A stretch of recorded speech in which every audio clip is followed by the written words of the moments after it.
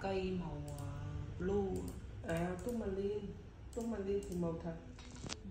tourmaline thì một cây ba bốn màu là chuyện bình thường nó theo chiều dọc này ba bốn màu ừ. trong chưa